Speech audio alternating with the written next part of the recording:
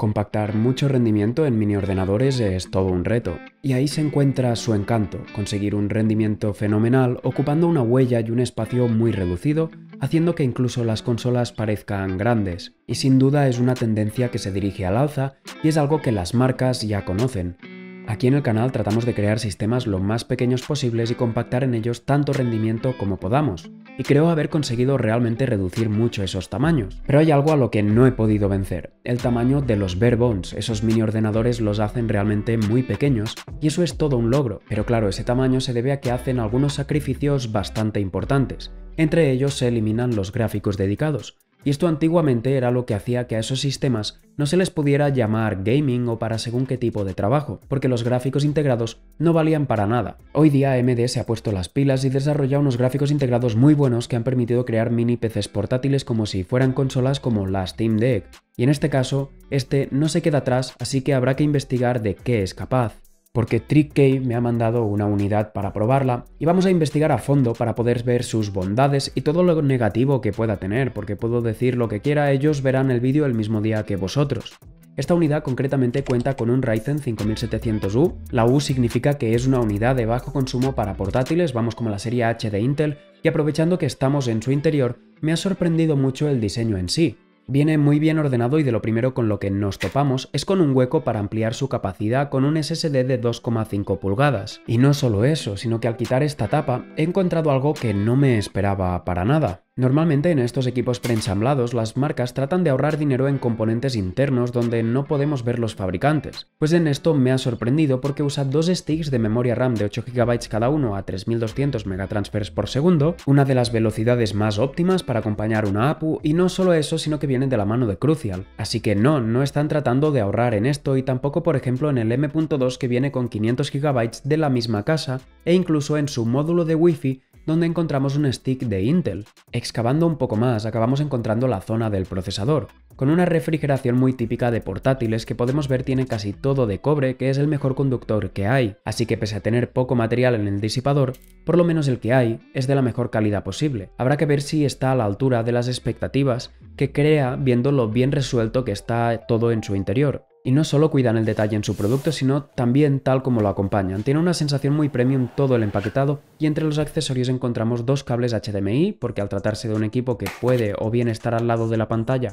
incluso pegado a ella con el soporte que trae, o bien puede estar lejos, nos incorporan dos HDMI para que usemos el que mejor nos convenga.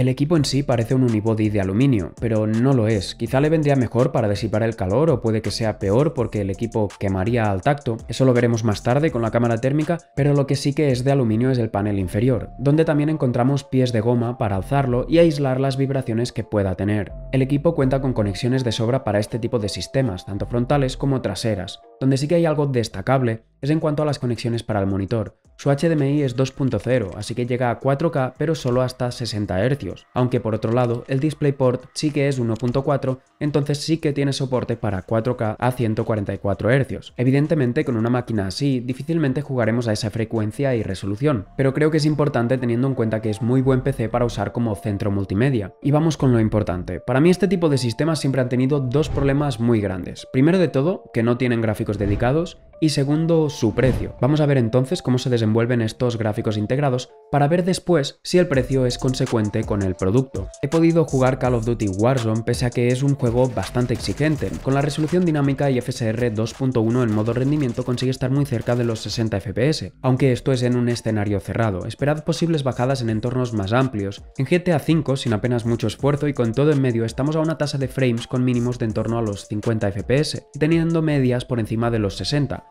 todo esto en 1080p sin ninguna ayuda de sobreescalado. Y para ver algún juego de carreras con Unreal Engine 5, en Raid 5 con los ajustes en medio y ayuda de la primera versión del FSR en 1080p en modo calidad obtenemos alrededor de los 40 FPS.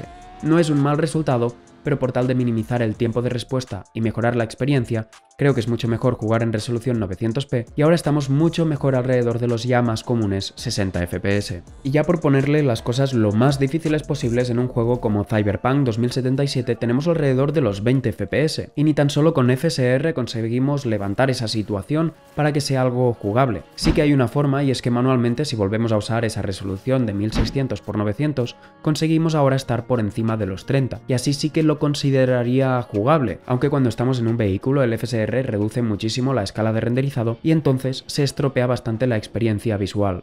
En Apex Legends, con todo al mínimo y sin ninguna ayuda con la escala de resolución, estamos alrededor de los 45 FPS con sus bajadas y subidas correspondientes, aunque si buscamos una experiencia más competitiva en lugar de reducir manualmente la resolución, algo que funciona muy bien en Apex es decirle que queremos esos 60 FPS en la opción de objetivo de FPS de resolución adaptativa, y automáticamente hará todo lo posible por mantenerse a ese frame rate respetando toda la fidelidad visual posible. Personalmente creo que aquí funciona muy bien y en este caso he encontrado que es mucho mejor esto que no reducir manualmente la resolución, así que esto lo daría por bueno. Este mini PC donde de verdad destaca es en este tipo de juegos más esports, Counter-Strike, Valorant, League of Legends o incluso Overwatch entre ellos, donde podemos jugar sin ningún tipo de resolución adaptativa y en bajo, en este caso en Overwatch, estar alrededor de los 80 fotogramas por segundo.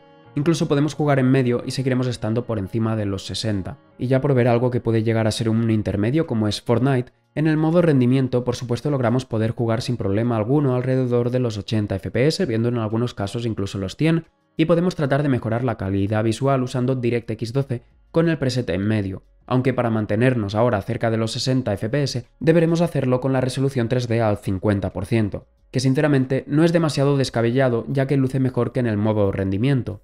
Para los interesados en tareas de trabajo como podría ser Adobe Premiere, voy a comparar el equipo con otros que tienen precios muy similares y hemos montado en el canal, como el 4700G que hicimos a través de un mod y tiene un tamaño prácticamente idéntico, aunque este usa una CPU de escritorio con mayor consumo. Y también veremos por aquí el mini PC con gráficos dedicados que cuenta con un i7 4790K, algo antiguo pero que en gaming está muy por encima de esta APU gracias a su 1060 de 6 GB. Entonces en Premiere con este pequeño equipo podemos movernos con archivos 4K, con efectos, con múltiples capas por la línea de tiempo sin problema, lo único que empieza a saturarse un poco si tenemos alguna capa compleja con proyectos de After Effects. Aunque eso es lo normal en sistemas, incluso me pasa con mi 5800X. Y renderizando mi último vídeo sin ninguna ventaja por hardware, este pequeño equipo consigue ser el líder respecto a las otras dos alternativas de escritorio, incluso teniendo un consumo mucho menor. Esto en pura rasterización 3D de CPU se mantiene bastante igual con este pequeño equipo volviendo a marcar su dominancia, teniendo muy cerca el 4700G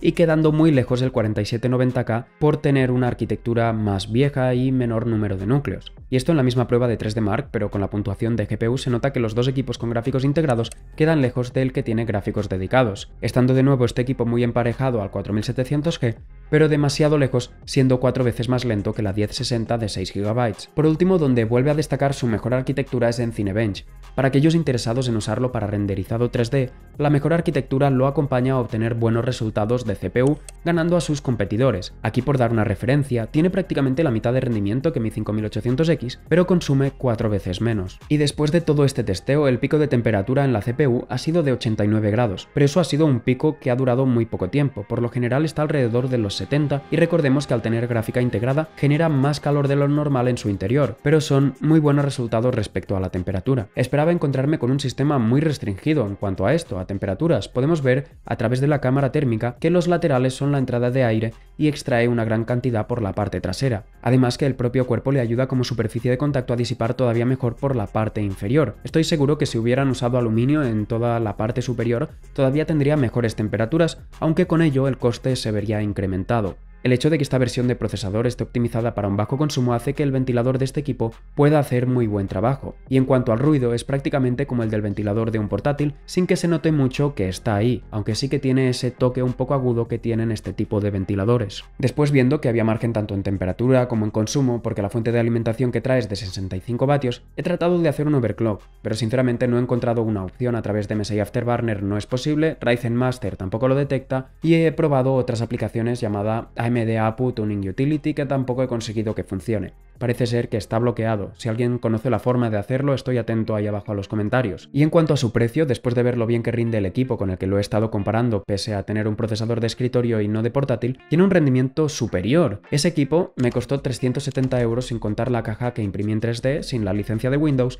y sin el propio trabajo que me dio. Por lo que por menos tenemos más, sin contar que en sí el equipo es más compacto y sin duda alguna mucho más profesional que mi creación. Entonces el equipo, con todo lo que habéis visto, aplicando un cupón que por lo menos a mí me aparece ahora, queda por un precio de 299 euros, que es un precio totalmente justificado, dejaré enlaces ahí abajo. Sí que es verdad que hemos montado sistemas como este mini PC de 350 euros que actualmente conseguimos por algo menos, que cuentan con gráficos dedicados y mejor rendimiento. Incluso montamos uno por 150 euros con mejor rendimiento gráfico, básicamente por lo menos para juegos. Pero conseguir estos componentes, que no son nuevos y que quepan en esta caja, requiere de una buena investigación. Además, el equipo es más grande y consume más, hace más ruido y solo tiene mejor rendimiento cuando se involucra a la tarjeta gráfica. En tareas de procesador ya hemos visto que queda por detrás. Creo que tienen un valor distinto y están orientados a distinto público. Toda esa investigación y riesgo no es algo para todo el mundo, por lo que puedo ver este producto teniendo éxito y su propio mercado. En este producto he encontrado algo que no esperaba. Creía que sería una crítica a un equipo caro y de bajo rendimiento y me ha llevado una grata sorpresa que ha superado a mi propia creación. ¿Y